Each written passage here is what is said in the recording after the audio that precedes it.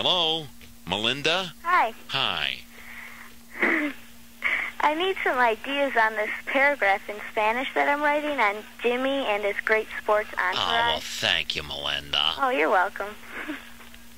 You need some ideas. Yeah, some good descriptive words. For Jim? Yeah. So far I have estupido and muy loco en la cabeza.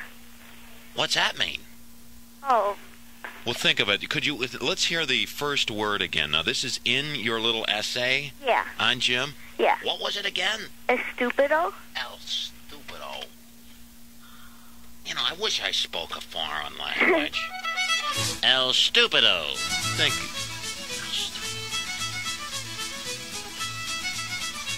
To bend over?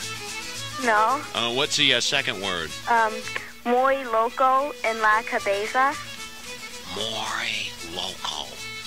You want more local sports? no. What's the uh, third one? That's it. That's all I have so far. Um, how would you, if something's got a certain aroma to it, El Stinko, what?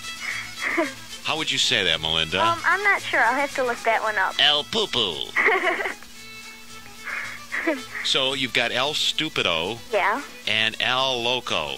Well, muy loco en la cabeza. Uh, I, I give local sports. No, that's not it. This is Don Pardo, and here's. Who? Jim Shorts, Jim Shorts. Oh, I see. Oh, Jim Shorts. This is Don Pardo, and here's Jim Shorts.